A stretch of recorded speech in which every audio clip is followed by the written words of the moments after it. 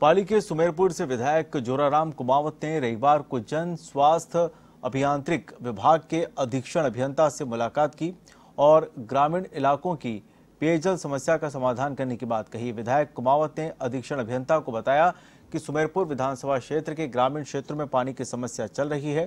ग्रामीणों ने कई बार उनसे शिकायत भी की। विधायक ने अधीक्षण अभियंता को समस्या के समाधान के निर्देश दिए।